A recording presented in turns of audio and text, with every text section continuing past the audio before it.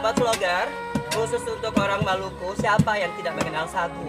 Sagu adalah makanan tradisional orang Maluku yang sudah diwarisi oleh nenek moyang. Nah, seperti ini biasanya di Maluku pada umumnya masyarakat Maluku selalu eh, melakukan sagu ini sebagai satu eh, makanan tradisional, mulai dari penebangan sampai perawatan dan juga perlakuan khusus karena nantinya sagu akan dijadikan sebagai makanan tradisional yang akan menopang eh, kehidupan masyarakat dan juga dapat menghasilkan eh, ekonomi bagi masyarakat juga.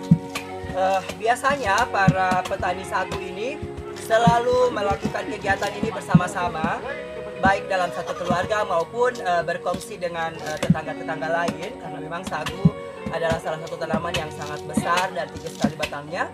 Untuk itu, eh, untuk pengolahannya perlu kerjasama yang baik antara eh, sesama masyarakat.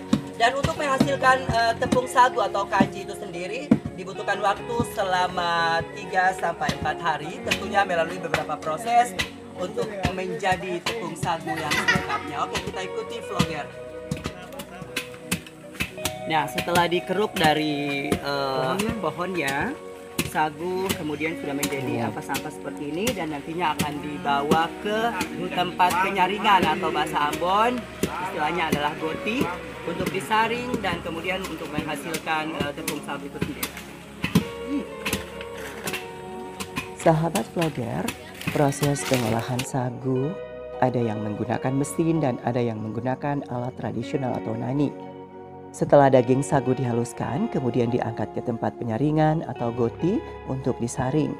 Proses penyaringan ini dilakukan berulang-ulang sampai daging sagu yang diolah tadi benar-benar habis dari batangnya.